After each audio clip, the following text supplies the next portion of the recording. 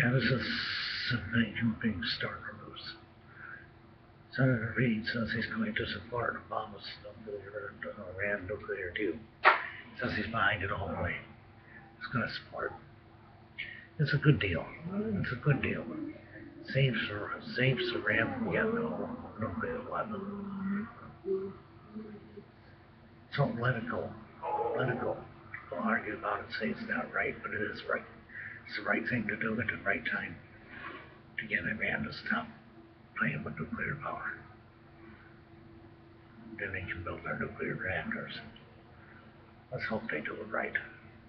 Hope they do it right. Hope they do this deal right. And don't screw it up. Hope they do this deal right. Senator Henry Reid of Nevada said he backs it all the way. He backs it all the way. He backs it all nuclear deal. Thank you for watching. It's good. It's good. It's good to see the government working. Thank you for watching.